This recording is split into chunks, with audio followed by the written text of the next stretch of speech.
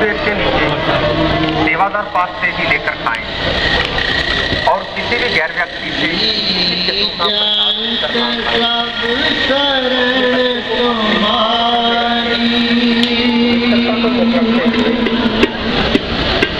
किनारे पाँव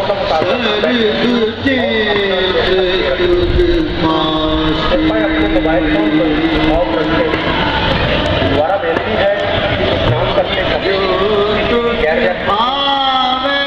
अपने